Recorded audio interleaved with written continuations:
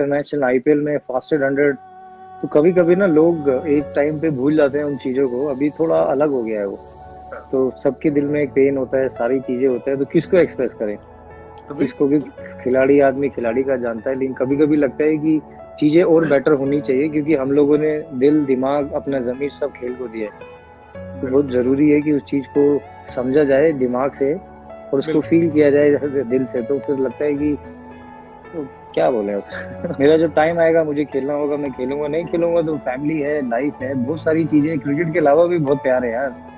लेकिन जैसे तरीका है या वैसे है ना हमारे देश में बहुत टैलेंटेड है। But I hope I wish कि बीसीसीआई कुछ ऐसा प्लान करे आईसीसी के साथ या फ्रेंचाइजी के साथ जो भी प्लेयर बीसीसीआई कॉन्टेक्ट में नहीं है।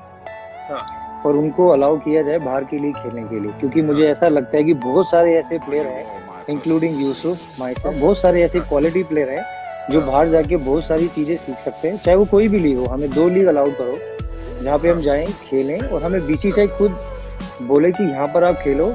जब से आईपीएल बीसीसीआई में आप नहीं हो और किसी को कोई आईपीएल में भी नहीं लिया आप इंटरनेशनल भी नहीं खेल रहे हो और डोमेस्टिक आजकल ऐसा है कि जो कंपटीशन इंटरनेशनल लेवल पे डोमेस्टिक में वैसा कंपटीशन नहीं अगर हमें तीन महीने में क्वालिटी क्रिकेट खेलेंगे चाहे वो सीपीएल हो चाहे वो बिग बैश हो कुछ भी ऐसा हो जिससे हमें लगे कि हम रेडी हैं क्योंकि आप देखो कि बाहर के सारे प्लेयर खेलते हैं। वो सारे फिर कम करते हैं अपनी कंट्री के लिए। हम आईपीएल खेलते हैं इन्होंने 40-50 लड़कों का पूल बनाया। अगर सिलेक्ट लगता है कि खराब हो गया या फिर इसको हाँ। एकदम ही नेग्लेक्ट कर देते हैं तो फिर हम लोग के पास दूसरा प्लान भी नहीं है।